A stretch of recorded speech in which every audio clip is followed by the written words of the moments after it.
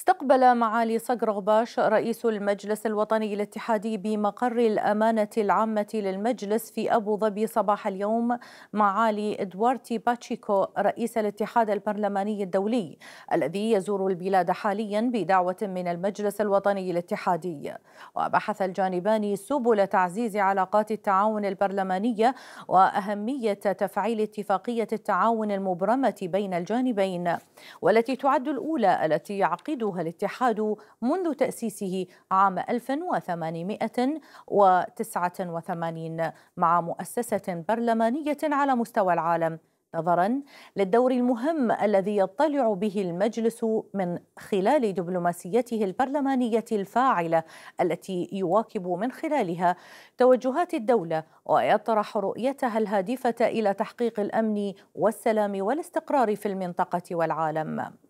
وتناول اللقاء سبل تفعيل التعاون بين الاتحاد البرلماني الدولي والمنظمات الدولية لا سيما الأمم المتحدة مع التأكيد على دور البرلمانات في نشر السلام والاستقرار والتواصل بين شعوب العالم.